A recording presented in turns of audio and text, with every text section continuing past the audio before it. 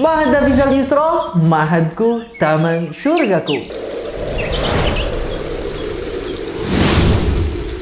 Innal hamdalillah nahmaduhu wa nasta'inuhu wa nastaghfiruh wa naudhu billahi min shururi anfusina wa sayyiati a'malina. Man yahdihillahu fala mudilla lahu wa man yudlil fala. أشهد أن لا إله إلا الله وحده لا شريك له وأشهد أن محمدا عبده ورسوله. اللهم صل وسلم على هذا النبي الكريم وعلى آله وصحبه أجمعين. يا أيها الذين آمنوا اتقوا الله حق تقاته ولا تموتن إلا وأنتم مسلمون. يا أيها الذين آمنوا اتقوا الله وقولوا قولا سديدا. يصلح لكم أعمالكم ويغفر لكم ذنوبكم. ومن يطع الله ورسوله فقد فاز فوزا عظيما. وبعد فإن أصدق الحديث كتاب الله وخير الهدي هدي محمد صلى الله عليه وسلم. وشر الأمور محدثاتها فإن كل محدثة بدعة وكل بدعة ضلالة وكل ضلالة في النار Ma'asyiral muslimin Jamaah Jumat Masjid Abu Bakar yang sama-sama mengharapkan ridha Allah Subhanahu wa taala.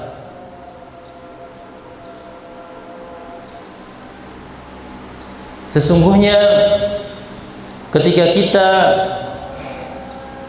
pergi dari dunia ini menuju akhirat maka semua mengharapkan satu perkara dari Allah Subhanahu wa taala yaitu diampuni segala dosa-dosanya.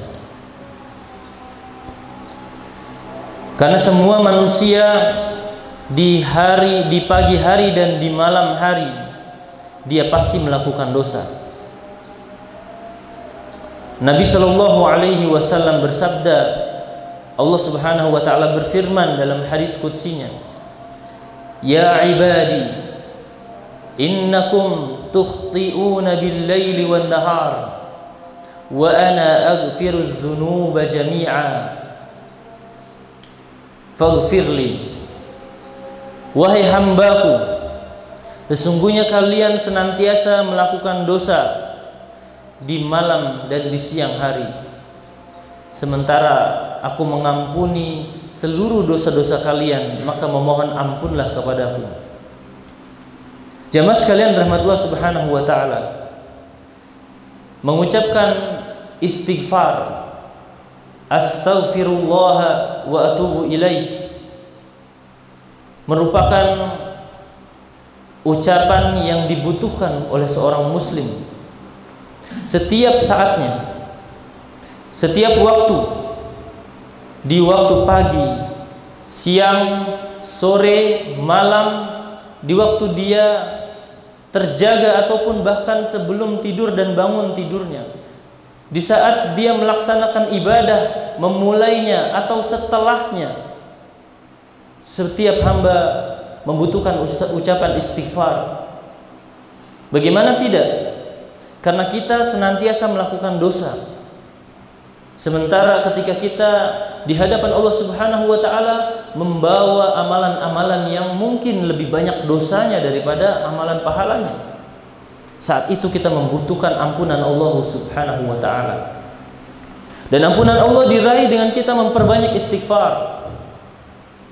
Di samping itu pula istighfar memiliki banyak keutamaan dan dia tinggi kedudukannya di sisi Allah Subhanahu wa taala. Dengan seorang hamba mengucapkan astagfirullah, maka dia akan diampuni dosanya. Dengan seorang hamba mengucapkan astagfirullah, dia akan diangkat derajatnya. Dengan seorang hamba mengucapkan astagfirullah, dihilangkan kegundahannya, kegelisahannya, dimudahkan segala urusannya, bahkan Allah menurunkan rizki dan diberikan anak harta yang banyak dengan dia mengucapkan astagfirullah Allah akan memberikan cahaya hidayah. Allah akan menunjukkan jalan kepada jalan yang benar. Jamaah sekalian rahmat Allah Subhanahu wa taala adalah Rasulullah sallallahu alaihi wasallam yang beliau adalah teladan kita semua di dalam hal ini paling terdepan melaksanakan apa yang beliau ucapkan.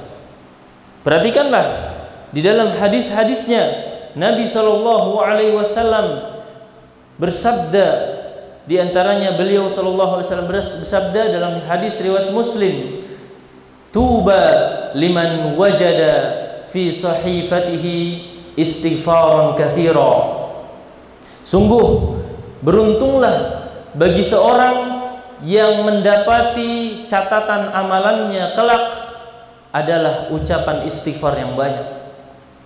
Nabi Shallallahu Alaihi Wasallam adalah orang yang tentunya akan berbahagia dengan ucapan istighfarnya yang banyak. Karena beliau Shallallahu Alaihi Wasallam pun mengatakan bersabda, Wallahi la in wallahi inni la astaghfirullah wa atubu ilai fil yaumi mi'ata marrah atau fi riwayatin aktsaru min sab'ina marrah. Demi Allah kata Rasulullah SAW sesungguhnya aku adalah orang yang paling banyak mengucapkan istighfar dan bertaubat di setiap harinya lebih dari 70 kali. Atau dalam riwayat yang lain beliau mengucapkannya 100 kali.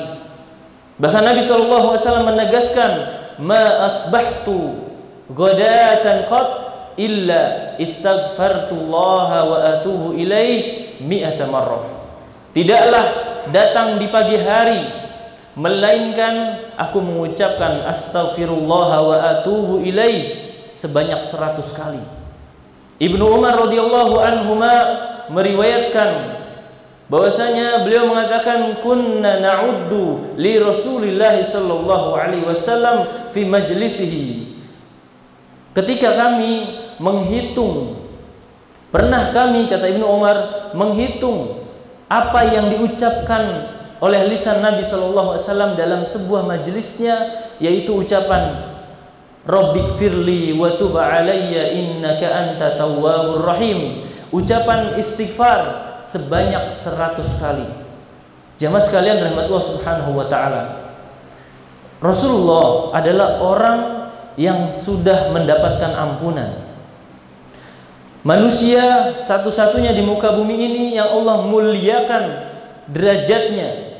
Allah sudah ampuni dosanya yang telah lalu bahkan yang akan datang.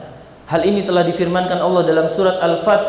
Allah berfirman, Inna fatahna laka fatham mubina liyaghfira laka Allah ma taqaddama min dhanbih wa ma ta'akhkhar wa yutimma ni'matahu 'alaika wa yahdiyaka mustaqima Sesungguhnya kami memberikan kemenangan atasmu wahai Muhammad agar Allah mengampuni dosa-dosamu yang telah lalu dan yang akan datang dan agar Allah menyempurnakan nikmatnya atasmu dan memberikan petunjuk di jalan di atas jalan yang di jalan yang lurus. Jamaah sekalian Allah Subhanahu wa taala. Inilah sosok Nabi kita Muhammad sallallahu alaihi wasallam yang jelas-jelas sudah diampuni dosanya namun beliau memperbanyak ucapan istighfar. Beliau memperbanyak ucapan istighfar Bahkan beliau mencontohkan di waktu-waktu yang telah diikat dengan ibadah-ibadah tertentu atau di waktu-waktu yang tidak ada bersamaan dengan ibadah tertentu. Beliau mengucapkan istighfar setelah sholat tiga kali dengan ucapan astagfirullah, astagfirullah, astagfirullah. Beliau terkadang mengucapkan istighfar sebelum salam dalam sholatnya. Bahkan beliau terkadang mengucapkan istighfar di saat sujud. Bahkan beliau menganjurkan mengucapkan istighfar setelah bermajelis ilmu dan seterusnya.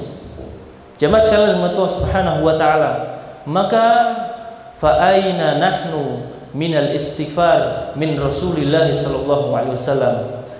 Mana mana istighfar kita dibandingkan dengan Rasulullah sallallahu alaihi wasallam. Aqulu qawli hadha wa astaghfirullah li wa lakum wa lisairil muslimina wal muslimat istaghfiru innahu huwal ghafurur rahim.